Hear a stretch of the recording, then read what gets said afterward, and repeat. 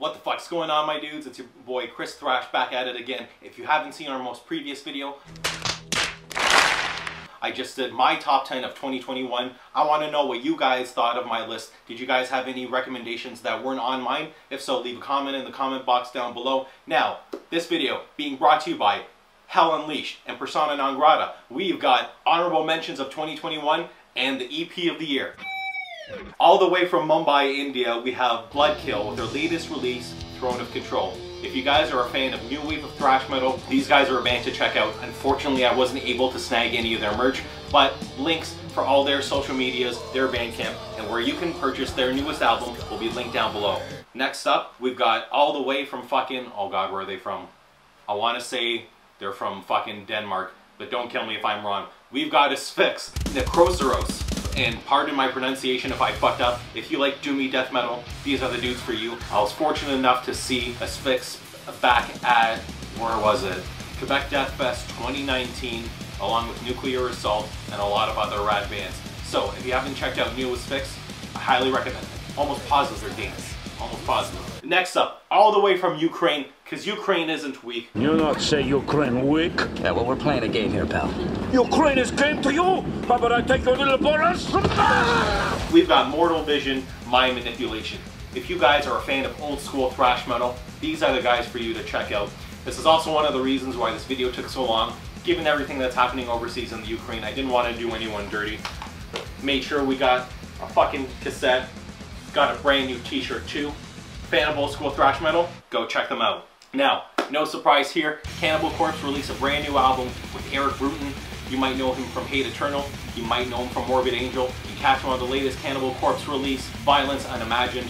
Guys are pushing 50, even 60 years old, and they're still killing death metal, and they're number one in the world at doing it. I don't have any of their merch, but I have plenty of Cannibal Corpse merch at home. If you guys want to check them out, we have a link in the description down below for everything. Next up for honorable mentions, My Boys the Knife. If you're a fan of speedy black and thrash metal, these dudes are for you. Not only do we get a dank fucking fat patch, we got a dope fucking full length as well.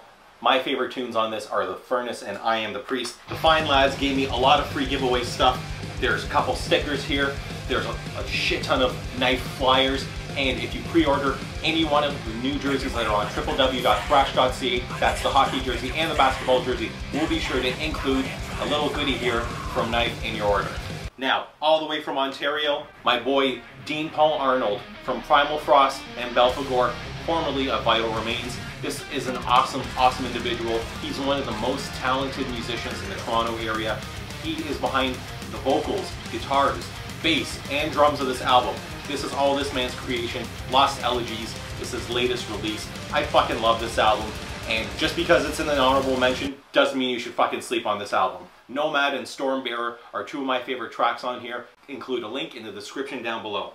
Now, on to the EPs of the year. All the way from California IA, we have Iron Front with Flayed Alive.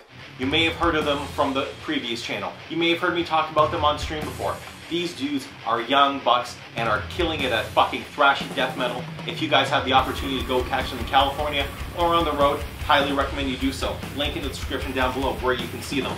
And for EP of the year, the homegrown, the agonist, Days Before the World Wept. This is arguably my most spun record of 2021. I was fortunate enough to see them in Brutal Montreal 2021. Immaculate Deception, this is the second song on this album. The breakdown at the end of it, you know that meme? That freshly shaved? That was literally me in the car listening to this breakdown. I fucking deadlift to this record. I fucking, I do everything. I grease biscuits. I get pumped to hockey listening to this. I can't say enough good about this album. Every musician on this fucking album kills. The homegirl, Vicky Psarakis, the number one olive oil on the face of the planet. We got you on this album. Fucking album EP of the year. Go check it out. Agonist, Days Before the World Wept. Thank you guys so much for watching this video. If there's an EP or an honorable mention that wasn't on my list that you think I should check out, let us know in the comment box down below. Be sure to hit up www.thrashed.ca. We have pre-orders running now. All pre-orders come with free knife goodies. Thank you guys so much for watching this video. Click like if you like this video. Mosh that fucking subscribe button. Tell all your friends this is the home for all your dank good thrash TV. We'll see you next time.